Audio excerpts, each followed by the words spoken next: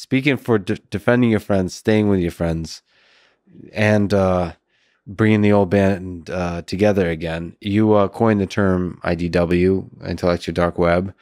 Uh, I like it.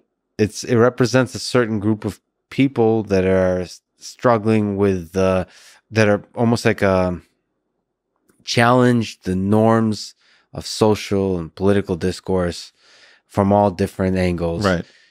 What do you think is the state of the IDW? What do you think is its future? Is it still a useful? Well, it never existed. Is it a protocol? Is it a collection of people featured in an article? What I learned very clearly is, is that there's a tremendous desire in the internet age to pin people down. Well, what do you say? Who's in it? Yeah. What are the criterion? It's like, I understand. You want to play the demarcation game and you want to make everything that is demarcated instantly null and void. No, thank you. So I resisted saying who was in it. I resisted saying what it was. I resisted saying that Bari Weiss's article was the definitive thing. You know, they chose a ridiculous concept for the photographs that we couldn't get out of. I did not want those photographs taken. They decided that the Pulitzer Prize winning photographer needed to take them all at twilight, you know, I don't know, some such thing. I didn't even necessarily want to do the article. Um, Bari convinced me that it was the right thing to do. Undoubtedly, Bari was right. I was wrong. But the key point is nothing can grow in this environment. There's a reason we're not building. It does not appear that we found a way to grow anything organic and good and decent that we need right now. And that's kind of the key issue. Who's the we? Do you mean us as a society? Those of us who wish to have a future for our great grandchildren. Let's let's let's take the subset of people who are worried about things long after their demise. But do you think it's useful to have a term like the IDW to capture some set of people, some set of uh, ideas, or maybe principles that capture what I think the IDW. Okay, you can say it's not supposed to mean it doesn't exist. It doesn't mean anything. But to the public, to me, okay, I'll just speak to me. It represented something. Yeah, I, I it uh, represented. I think I said this to you. It's my in my first attempt to interview the great Eric Weinstein. Uh, I said that uh, I spoke this about you, but IDW in general is trying to point out the elephant in the room, or that the emperor has no clothes. The set of people that do that in their own way if there are multiple elephants in the room, yes. The point is, is that the IDW was more interested in seeing the totality of ele- elephants and trying to figure out how do we move forward, as opposed to saying I can spot the other guy's elephant in the room, but I can't see my own.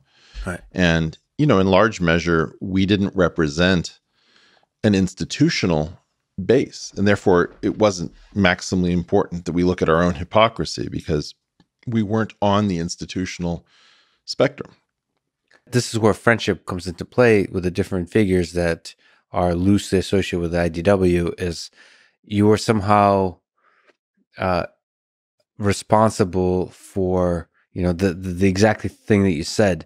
Did you hear what I don't know? I forget the Dame. Oh, who what Sam Harris said about IDW? Yeah, uh, that that kind of thing is. Well, I chuckled. lovingly or chuckle like uh, or I, I was what, angry at some people who had said things that caused Sam to say what Sam said about turning his imaginary club membership into the IDW. People said very silly things and you know, I think that there is just this confusion that um, integrity means calling out your friends in in, in, in front of the world. Right. And you know, I've been pretty clear about this. Uh, I try to choose my friends carefully. And if you would like to recuse me because I'm not a source of reliable information, people that I know and love the most, um, maybe that's reasonable for you. Maybe you, you prefer somebody who was willing to throw a friend uh, under the bus at the first sign of trouble. By all means, uh, exit my feed. You don't have to subscribe to me if that's if that's your concept of integrity uh, you're, you're, barking up the wrong tree. What I will say is, is that I knew these people well enough to know that they're all flawed. Thank you for the callback. And uh, but the issue is that um, I love people who are flawed, and I love people who have to earn a living, even if you call them a grifter. And I love people who, uh, you know, like the fact that Donald Trump didn't get us into new wars, even if you call them alt right. I love the fact that um, some people believe in structural oppression and want to fight it, even if they're not woke, because they don't believe that structural oppression is hiding everywhere.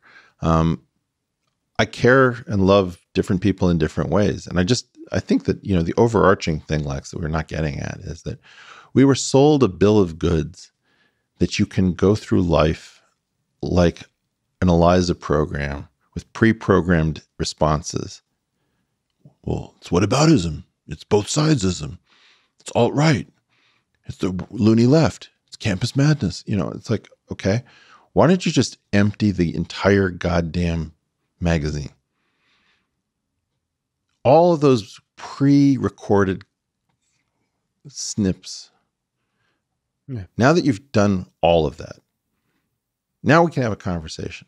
Your son put it really well, which is we should, in, all things, resist labels. But we can't deal without labels. We have Yeah. to generalize, but we also have to keep in mind that just in the way in science you deal with an effective theory that isn't a fundamental one. In science, most of our theories we consider to be effective theories. If I generalize about about Europe, about women, about uh, you know Christians, those things have to be understood to mean something and not to have their definitions extend so broadly that they mean nothing at all, nor um, that they're so rigid that they're claims that clearly won't bear scrutiny.